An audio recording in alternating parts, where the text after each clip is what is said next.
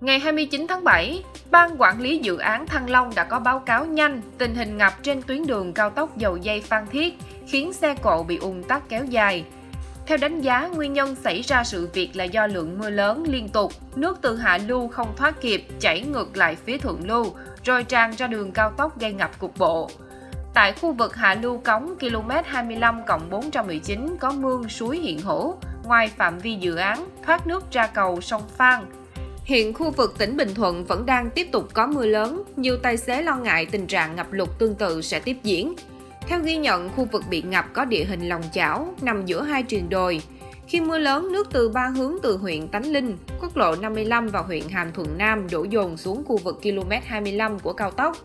Để khắc phục triệt để tình trạng ngập trong thời gian tới, Ban quản lý dự án Thăng Long đã yêu cầu đơn vị tư vấn thiết kế và các bên liên quan có mặt tại hiện trường trước 8 giờ ngày 30 tháng 7 để cùng kiểm tra, tìm giải pháp khắc phục.